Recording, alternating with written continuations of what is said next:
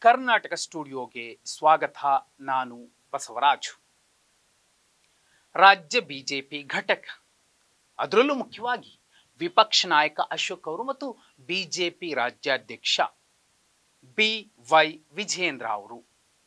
ಇಬ್ಬರ ನೇತೃತ್ವದಲ್ಲಿ ಕರಸೇವಕನ ಬಂಧನವನ್ನ ಖಂಡಿಸಿ ಪ್ರತಿಭಟನೆ ನಡೀತಿದೆ. ರಾಜ್ಯವ್ಯಾಪಿ ಪ್ರತಿಭಟನೆ ನಡೀತಿದೆ. ಹಾಗಿದ್ರೆ ಯಾರ ಬಂಧನವನ್ನ ಖಂಡಿಸಿ ಬಿಜೆಪಿ ಈ ಪ್ರೊಟೆಸ್ಟ್ ಮಾಡ್ತಿದೆ. ಒಂದೇ ಹೆಸರು ಕೇಳಿ ಬರ್ತಿರೋದು. ಅದು ಶ್ರೀಕಾಂತ್ ಪೂಜಾರಿ. ಯಾರಿವರು? ಅದಕ್ಕೂ ಮುಂಚೆ ಒಂದು ಪ್ರಶ್ನೆ ಕೇಳಬೇಕು. ಸಂವಿಧಾನದ ಹದಿನಾಲ್ಕನೆಯ ವಿಧಿ ಒಂದು ಸ್ಪಷ್ಟ ಸಂದೇಶವನ್ನು ರವಾನಿಸುತ್ತೆ. ಕಾನೂನಿನ ಮುಂದೆ ಎಲ್ಲರೂ ಸಮಾನರು ಅಂತ. ಅದು ಯಾರೇ ಆಗಿರಪ್ಪ ನೀನು? ಕಾನೂನಿನ ಮುಂದೆ ಸಮಾನ ಶೂದ್ರನಿಗೊಂದು ಕಾನೂನು ಶ್ರೇಷ್ಠ ಕುಲದವನಿಗೊಂದು ಕಾನೂನು ಅಂತಿಲ್ಲ. ಎಲ್ರಿಗೂ ಒಂದೇ ಕಾನೂನು. ಅದನ್ನೇ ಬಾಬಾ ಸಾಹೇಬ್ ಭೀಮ್ರಾವ್ ಅಂಬೇಡ್ಕರ್ ಅವರು ಕೊಟ್ಟಿದ್ದು. ಆ ಕಾರಣಕ್ಕೋಸ್ಕರನೇ ಎಲ್ಲರೂ ಹೆಮ್ಮೆಯಿಂದ ಜೈ ಭೀಮ್ ಅಂತಾರೆ. ಈಗ ವಿಷಯಕ್ಕೆ ಬರೋಣ. ಕೆಪಿಸಿಸಿ ವಕ್ತಾರ ರಮೇಶ್ ಬಾಬು ಅವರು ಒಂದು ಸ್ಪಷ್ಟವಾದ ಸಂದೇಶವನ್ನು ರವಾನಿಸಿದ್ರು ಇವತ್ತಿನ ಪ್ರೆಸ್ ಮೀಟಲ್ಲಿ. ಅವರು ಹೇಳಿದ್ದೇನು? ಮೊದಲಿಗೆ ಅದನ್ನ ನೋಡ್ಬಿಡಿ. ಪಾಪ ಅವರೇ ಒಪ್ಕೊತಾ ಇದ್ದಾರೆ. ನಾವು ಈ ದೇಶದಲ್ಲಿ ಹಳೆ ಕಾನೂನು ತೆಗೆದ್ಬಿಟ್ಟು ಹೊಸ ಕಾನೂನು ತಂದಿದ್ದೀವಿ. ಐ ಪಿ ಸಿ ಬದಲಾವಣೆ ಮಾಡಿದೀವಿ ಸಿಆರ್ ಪಿ ಸಿ ಬದಲಾವಣೆ ಮಾಡಿದೀವಿ ದೇಶಿ ಚರಿತ್ರೆ ಬೆಳಗ್ಗೆ ಬದಲಾಗ್ಬಿಡುತ್ತೆ. ಮಾಡಿ ಸ್ವಾಮಿ ಇದನ್ನು ಮಾಡಬೇಡಿ ಒಂದು ಕ್ಲಾಸ್ ಪ್ರಾವಿಷನ್ ಯಾರು ಬಿಜೆಪಿ ಬಿಜೆಪಿ ಸಪೋರ್ಟರ್ಸ್ ಇದ್ದೀರಾ ನೀವು ಕ್ರೈಮ್ ಮಾಡಿದ್ರೆ ನಿಮಗೆ ಎಕ್ಸಿಮಿಷನ್ ಒಂದು ಅಫಿಡವಿಟ್ ಕೊಟ್ಬಿಡಿ ಕೇಸ್ ಕ್ಲೋಸ್ ನೋಡಿ ಸ್ಪಷ್ಟವಾಗಿ ಹೇಳ್ತಿದ್ರೆ ಹೊಸ ಕಾನೂನನ್ನ ಕೇಂದ್ರ ಗೃಹ ಸಚಿವ ಅಮಿತ್ ಶಾ ಅವರು ಮಾಡ್ತಿದಾರಲ್ಲ ಒಂದು ಹೊಸ ಶರಾವನ್ನ ಸೇರಿಸ್ಬಿಡ್ಲಿ. ಅದು ಬಿ ಜೆ ಪಿ ಇರಬಹುದು, ಆರ್ ಎಸ್ ಎಸ್ ಇರಬಹುದು, ಬಿಜೆಪಿ ಮೈತ್ರಿ ಪಕ್ಷಗಳಿರಬಹುದು. ಮತ್ತು ಯಾರೆಲ್ಲ ಹಿಂದುತ್ವವನ್ನು ಪ್ರತಿಪಾದಿಸ್ತಿದ್ದಾರೆ, ಅವರಿರಬಹುದು. ಅವ್ರು ಯಾರೇ ಆಗಲಿ, ಕೊಲೆ ಮಾಡಲಿ, ಸುಲಿಗೆ ಮಾಡಲಿ, ಅತ್ಯಾಚಾರ ಮಾಡಲಿ, ಏನೇ ಮಾಡಿದ್ರೂ ಕೂಡ ಅವರನ್ನು ಬಂಧಿಸುವಂತಿಲ್ಲ ಅನ್ನುವಂಥ ಒಂದು ಶರ ಸೇರಿಸಿ ಹೊಸ ಕಾನೂನು ಮಾಡಿಬಿಡೋದು ಒಳ್ಳೆಯದ್ದು ಅಂತ. ಎಲ್ಲ ಒಂದು ಕಡೆ ಅವ್ರು ಹೇಳ್ತಿರುವಂಥದ್ದು, ರಮೇಶ್ ಬಾಬು ಅವರು ಹೇಳ್ತಿರುವಂಥದ್ದು ಸರಿಯಾಗಿ ಇದೆ. ಕಾರಣ ಶ್ರೀಕಾಂತ್ ಪೂಜಾರಿ ಯಾರು? ಆ, ನಾನು ಸಾಕಷ್ಟು ಪ್ರೆಸ್ ಮೀಟ್ ಪತ್ರಕರ್ತರು ಕೇಳುವಂತಹ ಪ್ರಶ್ನೆಗಳನ್ನು ಸೂಕ್ಷ್ಮವಾಗಿ ನೋಡಿದೆ. ಮುಖ್ಯಮಂತ್ರಿ ಸಿದ್ದರಾಮಯ್ಯ ಅವರ ಮುಂದೆ ಮತ್ತು ಆ, ಪರಮೇಶ್ವರ್ ಅವರ ಮುಂದೆ ಅಬ್ಬಯ್ಯ ಅವರ ಮುಂದೆ ಸಾಕಷ್ಟು ಪ್ರಶ್ನೆ ಮಾಡಿದವರಲ್ಲಿ ಪತ್ರಕರ್ತರು ಸಾಕಷ್ಟು ವರ್ಷ ಕೆಲಸ ಮಾಡಿರುವಂತಹ ಪತ್ರಕರ್ತರು ಯಾಕೆ ನೀವು ಅಯೋಧ್ಯ ರಾಮ ಮಂದಿರದ ಕೇಸ್ನಲ್ಲಿ ಶ್ರೀಕಾಂತ್ ಪೂಜಾರಿ ಅವರನ್ನ ಬಂಧಿಸಿದ್ರಿ. ಅಲ್ಲಿ ಕೇಸ್ ಅನ್ನೋದು ಮುಖ್ಯ ಆಗತ್ತೆ. ರಾಮ ಮಂದಿರದ ಕೇಸು, ಭೀಮ ಮಂದಿರದ ಕೇಸು, ಸೋಮ ಮಂದಿರದ ಕೇಸು ಅಲ್ಲವೇ ಅಲ್ಲ. Case case. ಭಾರತೀಯ ದಂಡ ಸಂಹಿತೆಯ ಪ್ರಕಾರ ಒಂದು ಕೇಸ್ ದಾಖಲಾದ್ರೆ, ಒಂದು ಪ್ರಕ್ರಿಯೆ ಇರುತ್ತೆ, ಆ ಪ್ರಕ್ರಿಯೆ ಮುಗಿಬೇಕು. ಅದು ಮುಗಿಲಿಲ್ಲ ಅಂತ ಮೊದಲೇ ನಿಂತ್ಕೊಂಡು, ಹೇ, ನಾವು ರಾಮನ ಭಕ್ತರು ಮಂದಿರಕ್ಕೋಸ್ಕರ ಹೋರಾಡಿದ್ವಿ. ನಮ್ಮನ್ನ ಬಿಟ್ಬಿಡ್ಬೇಕು ನೀವು, ಹಿಡ್ಕಣಂಗಿಲ್ಲ, ಬಂದ್ಸಂಗಿಲ್ಲ. ಕಾನೂನು ಅಂತವರ ಮುಖಕ್ಕೆ ಒಂದು ಪೆಟ್ಟು ಕೊಡುತ್ತೆ. ಅದಕ್ಕೆ ಸುಪ್ರೀಂ ಕೋರ್ಟ್, ಹೈಕೋರ್ಟ್ ಇರುವಂಥದ್ದು ಈಗ ಮೂಲ ವಿಷಯಕ್ಕೆ ಬಂದ್ರೆ ಶ್ರೀಕಾಂತ್ ಪೂಜಾರಿ ಯಾರು? ಮಾಜಿ ರೌಡಿ ಶೀಟರ್. ರೌಡಿ ಶೀಟರ್, ಮಾಜಿ ರೌಡಿ ಶೀಟರ್ ಒಬ್ಬರನ್ನ ರಕ್ಷಿಸಲಿಕ್ಕೆ ಬಿಜೆಪಿ ರಾಮನ ಹೆಸರು ಹೇಳಬೇಕಾಗ್ತಿದೆ ಅಂದ್ರೆ ಎಷ್ಟು ನೀಚತನದ ರಾಜಕಾರಣಕ್ಕೆ ಬಿಜೆಪಿ ಬಂದಿರಬಹುದು ಅಂತ ಕಾಂಗ್ರೆಸ್ ಪ್ರಶ್ನೆ ಮಾಡ್ತಿದೆ. ಪುರುಷೋತ್ತಮ ಶ್ರೀರಾಮಚಂದ್ರ ಪ್ರಭು ಎಲ್ಲಿ, ಮಾಜಿ ರೌಡಿ ಶೀಟರ್ ಎಲ್ಲಿ?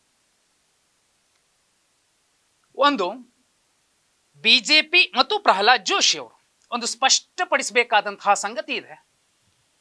ಏನು, ಶ್ರೀಕಾಂತ್ ಪೂಜಾರಿ ಅವರ ಬಂಧನ ಆಯಿತು. ಈ ಪ್ರಕ್ರಿಯೆಯಲ್ಲಿ ಬಂಧನ ಆಗಿದ್ದು ಒಬ್ರಲ್ಲ ಮೂವತ್ತಾರು ಜನ. ಇದರಲ್ಲಿ ಬಿಜೆಪಿ ಕೇವಲ ಶ್ರೀಕಾಂತ್ ಪೂಜಾರಿ ಅವರನ್ನಷ್ಟೇ, ನಮ್ಮ ಕರಸೇವಕ ನಮ್ಮ ಕರಸೇವಕ ನಮ್ಮ ಕರಸೇವಕ ಅಂತಿದೆಯಲ್ಲ? ಅದರಲ್ಲಿ ಮುಸಲ್ಮಾನರಿದ್ದಾರೆ, ಕ್ರೈಸ್, ಕ್ರೈಸ್ತರು ಕೂಡ ಇದ್ದಾರೆ ಬಂಧನಕ್ಕೊಳಗಾದವರು. ಅಂದ್ರೆ ಲಾಂಗ್ ಪೆಂಡಿಂಗ್ ಕೇಸ್ನಲ್ಲಿ ಇದ್ದಂಥವ್ರು. ಅವರಲ್ಲದೆ ಹಿಂದುಳಿದ ದಲಿತ ಸಮುದಾಯದ ಒಂದಷ್ಟು ಜನರು ಕೂಡ ಇದ್ದಾರೆ. ಹಾಗಿದ್ರೆ ಶ್ರೀಕಾಂತ್ ಪೂಜಾರಿ ಮಾತ್ರ ಬಿಜೆಪಿಗೆ ಬೇಕು. ಶ್ರೀಕಾಂತ್ ಪೂಜಾರಿ ಮಾತ್ರ ಬಿಜೆಪಿಗೆ ಮತ ಹಾಕ್ತಾರೆ. ಹಿಂದುಳಿದವರು, ದಲಿತರು, ಯಾರೆಲ್ಲ ಬಂಧನಕ್ಕೊಳಗಾದ್ರು ಇನ್ನು ಮೂವತ್ತೈದು ಜನ. ಅವರು ಬಿಜೆಪಿಗೆ ಬೇಕಿಲ್ವಾ? ಅಥವಾ ಅವರು ಡಬ್ಬ ಸಮುದಾಯಕ್ಕೆ ಸೇರಿದವರು ಅಂತ ಬಿಜೆಪಿ ವರ್ತಿಸ್ತಿದ್ಯಾ? ಇವತ್ತು ಪ್ರೊಟೆಸ್ಟ್ ಮಾಡಿದಾಗ ಒಬ್ಬರ ಫೋಟೋ ಮಾತ್ರ ಇದೆ, ಅದು ಶ್ರೀಕಾಂತ್ ಪೂಜಾರಿ ಅವರದ್ದು. ಇನ್ನುಳಿದವರು ಬೇರೆ ದೇಶಕ್ಕೆ, ಬೇರೆ ಗ್ರಹಕ್ಕೆ ಸೇರಿದವರು ಇರಬಹುದಾ ಬಿಜೆಪಿಯ ಪ್ರಕಾರ? ನೋಡಿ, ಸಾವಿರದ ಒಂಬೈನೂರ ತೊಂಬತ್ತೆರಡು ಕೇಸ್ ನಂಬರ್ ಇನ್ನೂರ ಐವತ್ತೆರಡು ಆ ಪ್ರಕರಣದ ಅಡಿಯಲ್ಲಿ ಶ್ರೀಕಾಂತ್ ಪೂಜಾರಿ ಅವರ ಬಂಧನ ಆಗಿದೆ. ಹುಬ್ಳಿ ನಗರ ಪೊಲೀಸ್ ಸ್ಟೇಷನ್ನಲ್ಲಿ ದಾಖಲಾಗಿರುವಂತಹ ಮಾಹಿತಿಯ ಪ್ರಕಾರ, ಹದಿಮೂರು ಜನದಲ್ಲಿ ಐದು ಜನ ಅವರ ಕೇಸ್ ಖುಲಾಸೆ ಆಗಿದೆ. ಇನ್ನು ಐದು ಜನ ಎಕ್ಸ್ಪೈರ್ ಆಗಿದ್ದಾರೆ. ಅವರು ನಿಧನರಾಗಿದ್ದಾರೆ. ಇನ್ನು ಮೂವರು ಕಣ್ಮರೆ ಆಗಿದ್ರು. ಆ ಕಣ್ಮರೆ ಆದವರ ಪೈಕಿ ಶ್ರೀಕಾಂತ್ ಪೂಜಾರಿ ಅವರು ಒಬ್ರು. ಯಾವಾಗ ಕೋರ್ಟ್ ಲಾಂಗ್ ಪೆಂಡಿಂಗ್ ಕೇಸ್ ಅಂತ ಇಟ್ಟು ಎನಿ ಟೈಮ್ ವಾರೆಂಟ್ ಅನ್ನ ಕೊಟ್ಟಿರುತ್ತೆ? ಕೋರ್ಟು ಹೇಳೋಕ್ಕಾಗಲ್ಲ. ಅಥವಾ ಸರ್ಕಾರ ಹೇಳೋಕ್ಕಾಗಲ್ಲ. ನಾಳೆ ಬಂಧಿಸ್ಬಿಡಿ ಅಂತ. ಕೋರ್ಟ್ನ ಆದೇಶದ ಮೇರೆಗೆ ಈ ಬಂಧನ ಆಗಿದೆ ಅನ್ನುವಂಥದ್ದು ಅಕ್ಷರಶಃ ಸತ್ಯ. ನೂರಕ್ಕೆ ನೂರು ಪರ್ಸೆಂಟ್ ಸತ್ಯ.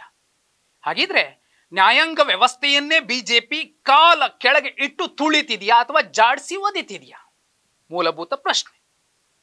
ಏನ್ ಅರವತ್ತಾರು ಬಿಜೆಪಿ ಶಾಸಕರು ಗೆದ್ದಿದಾರಲ್ಲ, ಅವರ ಸದಸ್ಯತ್ವ ಎಲ್ಲಿಗೆ ಬಂದು ನಿಲ್ಲುತ್ತೆ? ನ್ಯಾಯಾಂಗ ನಿಂದನೆ ಮಾಡಿರುವಂತಹ ಈ ಪ್ರಕರಣ ನೋಡಿದ್ರೆ ಪ್ರತಿಭಟನೆ. ಓಕೆ. ಸಿಆರ್ಪಿಸಿ ಕಾನೂನು, ಐ ಪಿ ಸಿ ಕಾನೂನು, ಬಿಜೆಪಿ ಬೆಂಬಲಿಸೋರ್ಗೊಂದು, ಬಿಜೆಪಿಯನ್ನ ವಿರೋಧಿಸೋರ್ಗೊಂದು ಅಂತ ಏನಾದ್ರು ಈ ದೇಶದಲ್ಲಿ ಇದೆಯಾ? ಹದಿನಾಲ್ಕನೇ ವಿಧಿಯನ್ನ ಬಾಬಾ ಸಾಹೇಬ್ರು ಕೊಟ್ಟಂತಹ ಹದಿನಾಲ್ಕನೇ ವಿಧಿಯನ್ನ ಬಿಜೆಪಿ ಬದಲಿಸೋದು ಒಳ್ಳೇದಲ್ವಾ? ಬಿಜೆಪಿಯನ್ನ ಬೆಂಬಲಿಸುವವರಿಗೆ ಶ್ರೇಷ್ಠ ಕಾನೂನು ಬಿ ಜೆ ಪಿಯನ್ನು ವಿರೋಧಿಸುವವರಿಗೆ ಕೆಟ್ಟ ಕಾನೂನು ಅಂತ ಏನಾದರೂ ಒಂದು ಹೊಸ ತಿದ್ದುಪಡಿಯನ್ನು ತರೋದು ಒಳ್ಳೇದಲ್ವಾ? ಅದನ್ನೇ ಕಾಂಗ್ರೆಸ್ನ ವಕ್ತಾರ ರಮೇಶ್ ಬಾಬು ಅವರು ಹೇಳಿರುವಂಥದ್ದು. ಈಗ ಮೂವತ್ತು ವರ್ಷ ಮೇಲ್ಪಟ್ಟಂತಹ ಕೇಸ್ ಏನಿಷ್ಟು ದೊಡ್ಡ ಮಹತ್ವ ಕೊಟ್ಬಿಟ್ಟಿದ್ದಾರೆ ಅಂತ ಪ್ರಶ್ನೆ ಮಾಡಬಹುದು. ದೇಶದಲ್ಲಿ ಸುಪ್ರೀಂ ಕೋರ್ಟ್ನ ಅಂಕಿ ಅಂಶಗಳ ಪ್ರಕಾರ ಎಪ್ಪತ್ತೇಳು ಸಾವಿರದ ಒಂಬೈನೂರ ಇಪ್ಪತ್ತೇಳು ಇಂತಹ ಮೂವತ್ತು ವರ್ಷಕ್ಕೂ ಮೇಲ್ಪಟ್ಟಂತಹ ಲಾಂಗ್ ಪೆಂಡಿಂಗ್ ಕೇಸ್ಗಳಿವೆ. ಈ ಪೈಕಿ ಎರಡ್ ಸಾವಿರದ ಇಪ್ಪತ್ತ್ ಮೂರರಲ್ಲಿ ಹುಬ್ಳಿ ಧಾರವಾಡ ಕಮಿಷನರೇಟ್ ವ್ಯಾಪ್ತಿಯಲ್ಲಿ ಮೂವತ್ತಾರು ಜನರ ಬಂಧನ ಆಗಿದೆ. ಕೇವಲ ಶ್ರೀಕಾಂತ್ ಪೂಜಾರಿ ಅವರ ಬಂಧನ ಆಗಿಲ್ಲ. ಆ ಕಾರಣಕ್ಕೋಸ್ಕರನೇ ಮತ್ತೆ ಸ್ಪಷ್ಟವಾಗಿ ಹೇಳ್ತಿದ್ದೀನಿ, ಬಿಜೆಪಿಗೆ ಬೇಕಿರೋದು ಕೇವಲ ಶ್ರೀಕಾಂತ್ ಪೂಜಾರಿ ಮಾತ್ರ. ಇನ್ನುಳಿದಂತಹ ಹಿಂದುಳಿದ ದಲಿತ ಸಮುದಾಯದ ಮೂವತ್ತೈದು ಜನ ಇದಾರಲ್ಲ ಅವರು ಇವರಿಗೆ ಬೇಕಾಗಿಲ್ಲ. ಕಾರಣ? ಅವ್ರು ಯಾಕೆ ಬೇಕು? ಈ ಕೇಸ್ನ ಹಿಂದಿರುವಂಥವ್ರು ಯಾರು? ಇದು ಬಹುಮುಖ್ಯ ಸಂಗತಿ. ಯಾಕೆ? ಇದು ಇಷ್ಟು ದೊಡ್ಡ ಸಮಸ್ಯೆ ಆಗಿದೆ. ನೋಡಿ, ಅವತ್ತು ಸಾವಿರದ ಒಂಬೈನೂರ ತೊಂಬತ್ತೆರಡರಲ್ಲಿ ಶ್ರೀಕಾಂತ್ ಪೂಜಾರಿ ಅವರು ಮಾಡಿದ್ದೇನು ರಾಮನ ಹೆಸರಲ್ಲಿ? ಒಂದಷ್ಟು ಅಂಗಡಿಗಳಿಗೆ ನುಗ್ಗಿ ಬೆಂಕಿ ಹಚ್ಚಿ ದಾಂಧಲೆ ಮಾಡಿದ್ರು. ಪರಮ ಪುರುಷೋತ್ತಮ ಶ್ರೀರಾಮಚಂದ್ರ ಪ್ರಭು ನನ್ನ ಹೆಸರಲ್ಲಿ ಗಲಾಟೆ ಮಾಡಿ ಯಾರಾದರೂ ಸಿಕ್ಕರೆ ಚುಚ್ಚಿ ಕುತ್ತಿಗೆ ಕೊಯ್ದು ಬಿಸಾಕಿ, ಬೆಂಕಿ ಹಚ್ಚಿ, ದರೋಡೆ ಮಾಡಿ, ಅತ್ಯಾಚಾರ ಮಾಡಿ ಅಂತ ಯಾರಿಗಾದ್ರೂ ಹೇಳಿದ್ರ? ಹೇಳಿರಲಿಲ್ಲ. ಓಕೆ, ರಾಮ ಮಂದಿರದ ವಿಚಾರವಾಗಿ ಒಂದಷ್ಟು ಆಕ್ರೋಶ ಭರಿತರಾಗಿ, ಅತಿ ಭಾವುಕತನದಿಂದ ಒಂದಷ್ಟು ಕೆಲಸ ಮಾಡಿರಬಹುದು. ಓಕೆ.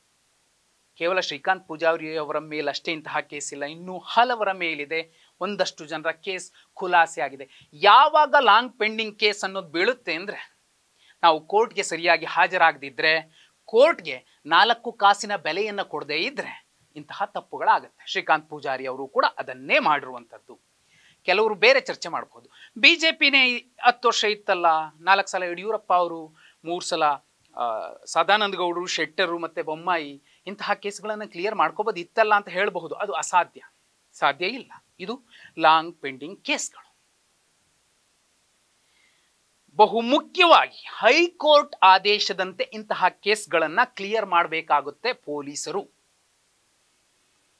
ಪ್ರೊಕ್ಲಮೇಷನ್ ಅಡಿಯಲ್ಲಿ ಇರುವಂತಹ ಇಂತಹ ಕೇಸ್ಗಳನ್ನು ಕೋರ್ಟ್ ಆದೇಶದ ಮೇರೆಗೆ ಕ್ಲಿಯರ್ ಮಾಡಬೇಕಾಗುತ್ತೆ. ಅದೇ ರೀತಿ ಬಂಧನ ಆಗಿದೆ. ಶ್ರೀಕಾಂತ್ ಪೂಜಾರಿ ಅವರ ಜೊತೆ ಇನ್ನೂ ಮೂವತ್ತೈದು ಜನರ ಬಂಧನ ಆಗಿದೆ. ಅದರಲ್ಲಿ ಮುಸಲ್ಮಾನರು, ಕ್ರೈಸ್ತರು, ಹಿಂದುಳಿದವರು, ದಲಿತರು ಎಲ್ಲರೂ ಇದ್ದಾರೆ. ಆದರೆ ಬಿಜೆಪಿ ಇವತ್ತು ಪ್ರೊಟೆಸ್ಟ್ ಮಾಡ್ತಿರೋದು ಕೇವಲ ಶ್ರೀಕಾಂತ್ ಪೂಜಾರಿಗೋಸ್ಕರ ಮಾತ್ರ. ಯಾಕೆ? ಅವರು ಪ್ರಹ್ಲಾದ್ ಜೋಶಿ ಅವರ ಅತ್ಯಾಪ್ತ ಅನ್ನೋದನ್ನ ಕಾಂಗ್ರೆಸ್ನ ವಕ್ತಾರರು ಇವತ್ತಿನ ಪ್ರೆಸ್ ಮೀಟಲ್ಲಿ ಸ್ಪಷ್ಟವಾಗಿ ಹೇಳಿದ್ದಾರೆ. ಹಾಗಿದ್ರೆ ಯಾಕೆ ಶ್ರೀಕಾಂತ್ ಪೂಜಾರಿ ಅವರ ವಿಚಾರ ಇಷ್ಟು ದೊಡ್ಡದಾಗ್ತಿದೆ? ಈ ಸಲ ಹುಬ್ಳಿ ಧಾರವಾಡ ಲೋಕಸಭಾ ಕ್ಷೇತ್ರದ ಟಿಕೆಟ್ ಅನ್ನ ಲಿಂಗಾಯತರಿಗೆ ಕೊಡಬೇಕು ಅನ್ನುವಂತಹ ಒಂದು ಕೂಗು ಕೇಳಿ ಬರ್ತಿದೆ. ಇಂತಹ ಸಂದರ್ಭದಲ್ಲಿ ಈ ಗಲಾಟೆಯನ್ನು ಮಾಡಿಸಿದ್ರೆ ಪ್ರಹ್ಲಾದ್ ಜೋಶಿ ಅವರು ಸುಲಭವಾಗಿ ಟಿಕೆಟ್ ಪಡ್ಕೋಬಹುದು ಅನ್ನುವಂತಹ ಒಂದು ಆಪಾದನೆಯನ್ನ, ಆರೋಪವನ್ನ ರಮೇಶ್ ಬಾಬು ಅವರು ಪ್ರೆಸ್ ಮೀಟಲ್ಲಿ ಮಾಡಿದ್ದಾರೆ. ಮೇಲ್ನೋಟಕ್ಕೆ ಇದು ನಿಜ ಇರಬಹುದಾ? ಗೊತ್ತಿಲ್ಲ. ಆದರೆ ಕೇವಲ ಶ್ರೀಕಾಂತ್ ಪೂಜಾರಿಯವರ ಪರವಾಗಿ ಬಿ ಜೆ ಪಿ ಪ್ರತಿಭಟಿಸ್ತಿದೆಯಲ್ಲ? ಇನ್ನು ಮೂವತ್ತೈದು ಜನರಲ್ಲಿ ಐದು ಜನ ಮುಸ್ಲಿಮು ಮತ್ತು ಕ್ರೈಸ್ತರಿದ್ದಾರೆ. ಇನ್ನು ಮೂವತ್ತು ಜನ ಹಿಂದುಳಿದವರು ದಲಿತರಿದ್ದಾರಲ್ಲ. ಅವರ ಪರವಾಗಿ ಬಿ ಜೆ ಪಿ ಯಾಕೆ ಮಾತಾಡ್ತಿಲ್ಲ? ಅವರ ಕಣ್ಣಿಗೆ ಆ ಜನ ಕರಸೇವಕರಾಗಿ ಯಾಕೆ ಕಾಣ್ತಿಲ್ಲ? ಕರಸೇವಕರು ಏನೇ ತಪ್ಪು ಮಾಡಿದ್ರು ಅವರನ್ನ ಕಾನೂನಿನ ಅಡಿಯಲ್ಲಿ ಶಿಕ್ಷಿಸಬಾರದ. ಇವತ್ತು ಘನವೆತ್ತ ಶಾಸಕರು, ಜನರಿದ್ದ ಆಯ್ಕೆಯಾದವರು ಸ್ವಲ್ಪ ಮಟ್ಟಿಗಿನ ಓದು ಅಕ್ಷರ ತಿಳಿದವರು, ಕಾನೂನಿನ ಜ್ಞಾನ ಗೊತ್ತಿರುವಂಥವ್ರು. ಖುದ್ದು ವಿಜಯೇಂದ್ರ ಅವರು ಕೂಡ ಕಾನೂನು ಓದ್ಕೊಂಡಿದ್ದಾರೆ. ನ್ಯಾಯಾಂಗ ನಿಂದನೆ ಆಗೋದಿಲ್ವಾ ಈ ಪ್ರಕರಣ? ಕೋರ್ಟ್ ಆದೇಶದಂತೆ ಪೊಲೀಸರು ಇಂತಹ ಕೆಲಸ ಮಾಡೋದಕ್ಕೂ ಅಡ್ಡಿ ಬಂದು ಮುಂದಿನ ದಿನಮಾನಗಳಲ್ಲಿ ಬರ್ದಿಟ್ಕೊಳ್ಳಿ. ಆರ್ ಎಸ್ ಎಸ್ ಪ್ರಣೀತ ಬಿಜೆಪಿ ಪ್ರಣೀತ, ಜನರನ್ನ, ಪ್ರಭಾವಿಗಳನ್ನ ಪೊಲೀಸರು ಮುಟ್ಟಂಗಿಲ್ಲ, ಅವ್ರು ಏನೇ ಮಾಡಿದ್ರು ಮುಟ್ಟಂಗಿಲ್ಲ, ಅವ್ರು ಹೊಡೆದ್ರು, ಕೊಲೆ ಮಾಡಿದ್ರು ಮುಟ್ಟಂಗಿಲ್ಲ ಅನ್ನುವಂತಹ ಒಂದು ಅಲಿಖಿತ ನಿಯಮವನ್ನ ಬಿಜೆಪಿ ಮಾಡೋದಿಲ್ವಾ? ಕಾಂಗ್ರೆಸ್ ಇದನ್ನೇ ಪ್ರಶ್ನೆ ಮಾಡ್ತಿದೆ. ಯಡಿಯೂರಪ್ಪ ಅವ್ರ ಕಾಲದಲ್ಲಿ ಗೋಹತ್ಯೆ ನಿಷೇಧ ಕಾಯ್ದೆ ಬಂತು. ಅದರಲ್ಲೊಂದು ಪರ್ಟಿಕ್ಯುಲರ್ ಮೆನ್ಷನ್ ಮಾಡಿದ್ದಂತಹ ಒಂದು ಅಂಶ ಇತ್ತು. ಗೋರಕ್ಷಣೆಯ ಹೆಸರಿನಲ್ಲಿ ಕೆಲಸ ಮಾಡುವವರನ್ನ ಅವರ ವಿರುದ್ಧ ಕ್ರಮ ಜರುಗಿಸುವಂತಿಲ್ಲ ಅಂತ ಒಂದು ಸಾಲನ್ನು ಮೆನ್ಷನ್ ಮಾಡಿದ್ರು. ಅದೇ ರೀತಿ ಅಮಿತ್ ಶಾ ಅವರು ಹೇಗಿದ್ರು ಹೊಸ ಹೊಸ ಕಾನೂನುಗಳನ್ನ ತರ್ತಿದ್ದಾರೆ. ರಾಮನ ಹೆಸರಲ್ಲಿ ಏನ್ ಬೇಕಾದರೂ ಮಾಡಬಹುದು, ಅವರನ್ನ ಅವರ ವಿರುದ್ಧ ಕ್ರಮ ತಗೊಳಂಗಿಲ್ಲ. ಬಿಜೆಪಿ ಹೆಸರಲ್ಲಿ, ಹಿಂದುತ್ವದ ಹೆಸರಲ್ಲಿ, ಆರ್ ಎಸ್ ಎಸ್ ಹೆಸರಲ್ಲಿ ಏನ್ ಬೇಕಾದರೂ ಮಾಡಿದ್ರೂ ಕ್ರಮ ತೆಗೆದುಕೊಳ್ಳುವಂತಿಲ್ಲ ಅನ್ನೋ ಹೊಸ ಕಾನೂನನ್ನ ಮಾಡಲಿ ಅಂತ ಕಾಂಗ್ರೆಸ್ ಒತ್ತಾಯ ಮಾಡ್ತಿದೆ.